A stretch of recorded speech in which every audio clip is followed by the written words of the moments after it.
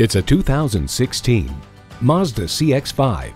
It's your ticket to a place of inspired design, superb performance, and one exhilarating drive. It's equipped for all your driving needs and wants.